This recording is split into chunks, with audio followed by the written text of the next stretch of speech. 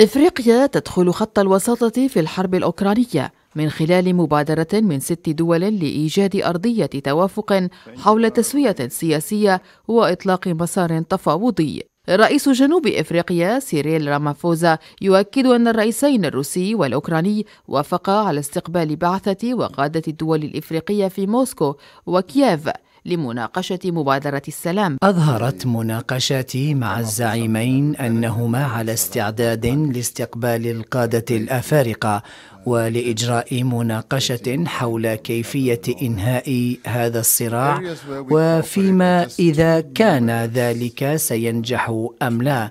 هذا سيعتمد على المناقشات التي ستجرى. المبادرة التي لم يكشف عن تفاصيلها بعد لقيت آذانا صاغية من الطرفين خاصة وأنهما أبديا استعدادا واهتماما بأي مقترح قد يحمل حلا للصراع الدائري بين البلدين.